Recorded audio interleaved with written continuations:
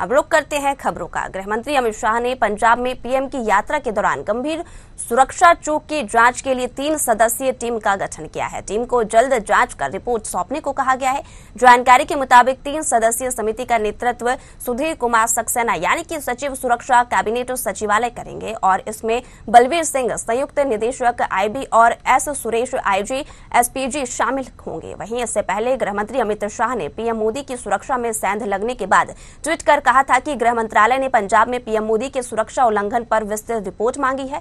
प्रधानमंत्री के दौरे में सुरक्षा प्रक्रिया में इस तरह की लापरवाही पूरी तरह से अस्वीकार्य है और जवाबदेही तय की जाएगी। वहीं कांग्रेस सरकार पर निशाना साधते हुए अमित शाह ने दूसरे ट्वीट में कहा कि पंजाब में आज की कांग्रेस निर्मित घटना इस बात का ट्रेलर है कि यह पार्टी कैसी सोच रखती है और का, कैसा काम करती है। लोगों द्वारा बार बार ठुकराए जाने के कारण कांग्रेस पागलपन के रास्ते पर पहुँच गई है। कांग्रेस के शीर्ष नेताओं को अपने किए पर भारत के लोगों से माफ़ी मांगनी चाहिए।